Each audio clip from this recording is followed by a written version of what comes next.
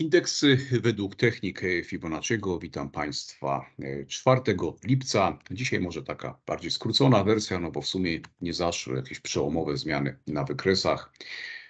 Popyt niezmiennie kontroluje sytuację, więc w kontekście jakichś podażowych, takich potencjalnych sygnałów, no, nie pojawiły się w ostatnim okresie tego typu wskazania. Na WIG-u była szansa, gdyby niedźwiedziom udało się mm, przełamać to znany nam już skądinąd bardzo dobrze, ten, ten znany rejon cenowy 66 tysięcy, do niedawna opór, teraz wsparcie, no to rzeczywiście zostałby wówczas wygenerowany przynajmniej taki wstępny e, sygnał słabości, biorąc też pod uwagę fakt, że tutaj fajnie, nawet tak można powiedzieć wręcz książkowo, prezentuje się ta wewnętrzna linia trendu. Ale tydzień temu zwracałem uwagę, że pierwsze wsparcie FIBO wytyczone na bazie techniki grupowania zniesień, no to są tutaj te okolice 65 tysięcy tak naprawdę.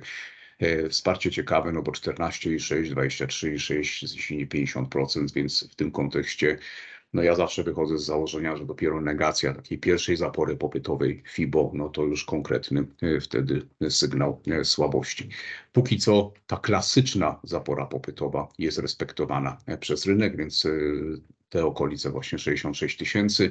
No a wyzwaniem dla byków niezmiennie pozostaje tutaj bardzo charakterystyczny rejon cenowy, czy też klaster podażowy FIBO 68 597, 68 986, strefa dobrze znana, układ ABCD, no i tą bazą jest to zniesienie 78,6 i na pewno przełamanie e, takiego oporu, negacja układu ABCD, no byłoby to wskazanie korespondujące z kierunkiem aktualnie obowiązującej tendencji popytowej w ujęciu krótkoterminowym, średnioterminowym, no, kolejny pozytywny sygnał techniczny, ale na razie kupującym jak jakby brakuje determinacji, by e, na wykresie no, pojawiło się tak ciekawe e, wskazanie. Na WIG-20 z kolei podobna sytuacja. No, tutaj w grze pozostaje niezmiennie ten e, klaster 2113-2119 z punktu widzenia techniki bardzo ciekawy rejon cenowy, liczne zniesienia, projekcje. No i jest także, mówiąc w cudzysłowie, no, ewidentnie honorowany przez rynek.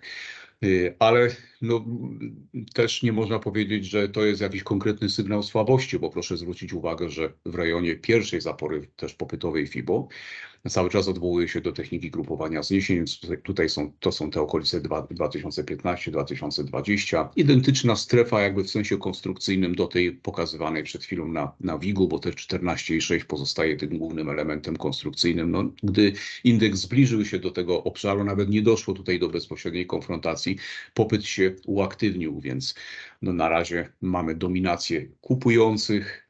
Tak jak powiedziałem na wstępie, trudno na tym etapie wydarzeń mówić o jakichś konkretnych podażowych sygnałach, natomiast no, takim y, y, czynnikiem, który no, nie pozwala jakby rozwinąć się tej bazowej tendencji dominującej na rynku jest właśnie klaster 2113-19, który na razie wstrzymuje wszelkie no, takie aktywne działania podejmowane przez kupujących.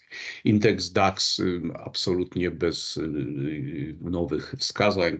Może jedynie nowy element, o którym chcę dzisiaj powiedzieć, bo Państwo mnie pytacie, czy tutaj w rejonie tych, tych maksimów cenowych z listopada 2021 i stycznia 2022 e, wypadają projekcje formacji harmonicznej. No, generalnie mamy taki układ trzyfalowy, średnioterminowy, Skądinąd to jest ciekawy temat, bo projekcje harmoniczne ewidentnie czy też projekcje, e, projekcje FIBO, co tworzy nam układ harmoniczny, grupują się w okolicy tego zniesienia 113, czyli to są 16 865. No tutaj rzeczywiście w taki bardzo charakterystyczny sposób można ten rejon wypełnić projekcjami, czyli jest spełniona zależność między ruchem AB i CD, jest zniesienie zewnętrzne, no i bazą wtedy jest także to zniesienie zewnętrzne 113% ale tu w rejonie 16290, 16300 y, absolutnie nie mamy do czynienia e, z formacją e, harmoniczną, mamy do czynienia tylko z klasycznym takim oporem technicznym, z pokonaniem którego popyt ma pewien problem, no ale też to, o czym Państwu mówiłem,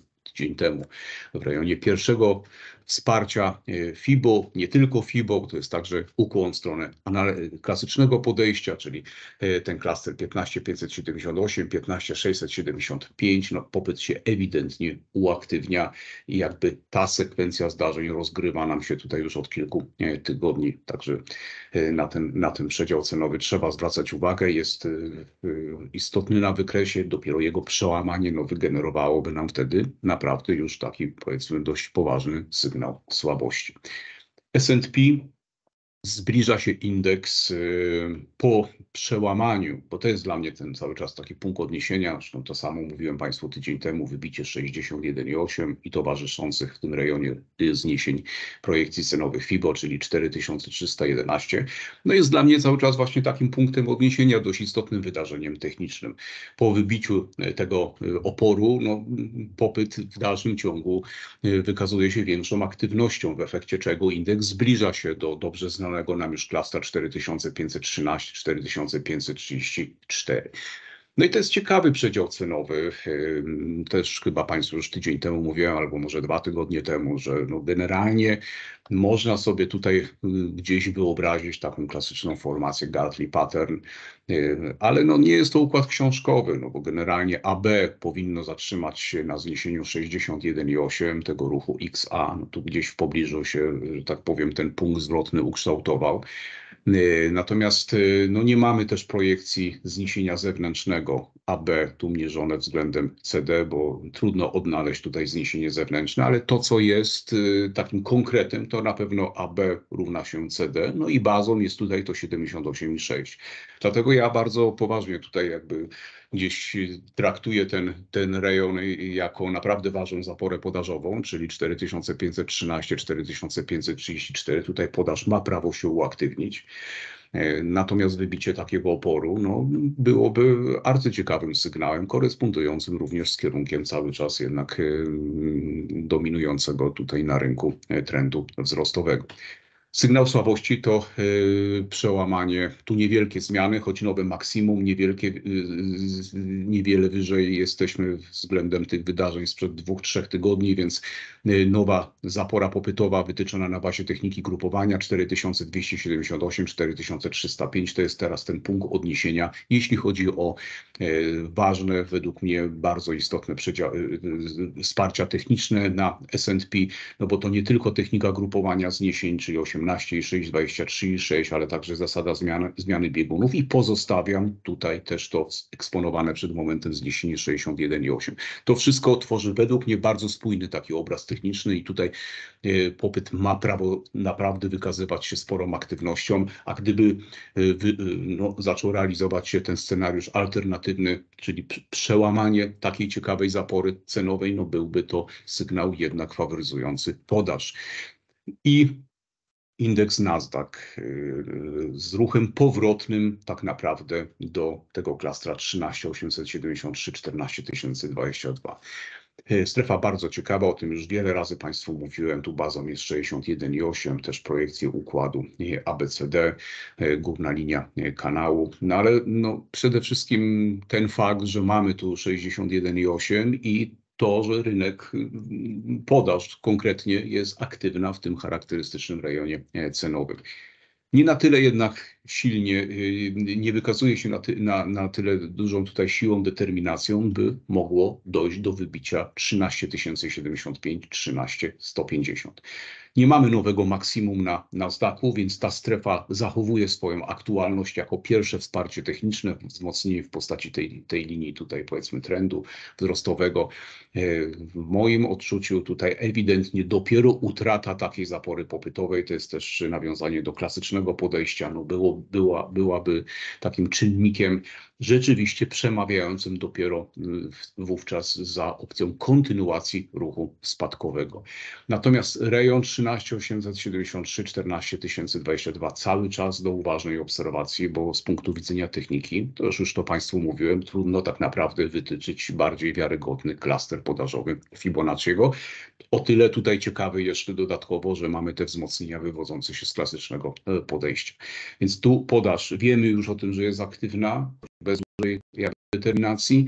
Y, Może być w dalszym ciągu wykazywać ta presja może się tutaj utrzymywać, natomiast trwałe wybicie takiego oporu, y, no to oczywiście sygnał kontynuacji ruchu wzrostowego. No ale to nie nastąpi dzisiaj, bo mamy święto za oceanem, Dzień Niepodległości, więc zobaczymy y, od wtorku, jak ta sytuacja będzie rozwijać się za oceanem. Na razie tyle z mojej strony. Bardzo dziękuję.